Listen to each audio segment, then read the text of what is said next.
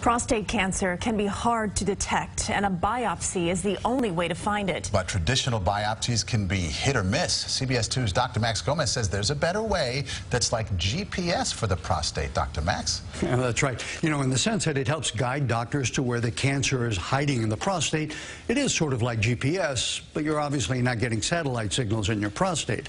Now, without that guidance, men often undergo multiple biopsies trying to find that cancer.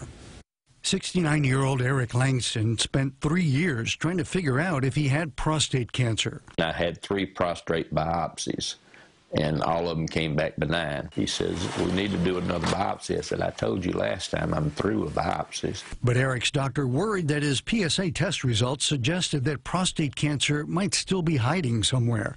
So Eric traveled to Cleveland Clinic for another test called a fusion-guided biopsy. There's no question that doing fusions is more accurate and has found a lot of tumors that we might otherwise have missed. Traditionally, an ultrasound probe is used to direct sampling of different areas of the prostate. But ultrasound can't usually see cancer, so the biopsies are random. Fusion-guided biopsy is like a GPS for the prostate. It fuses detailed MRI images with live, real-time ultrasound to help guide doctors right to the suspicious areas. We're more likely to find a higher grade cancer that we want to know about and less likely to find a low grade cancer that we don't want to know about.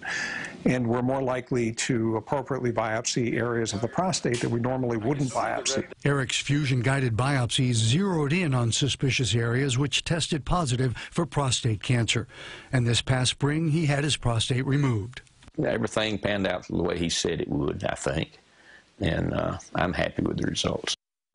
Two visits are necessary for the fusion-guided biopsy, one for the MRI and another for the biopsy itself. Fusion biopsy may still miss about 15% of high-grade cancers, but that's still far better than the present method of firing needles randomly into the prostate. The system is now making its way into major medical centers in the New York area and around the country. Good to hear. Yep. Thank you, Doc. Thank sure. you, Dr. Max.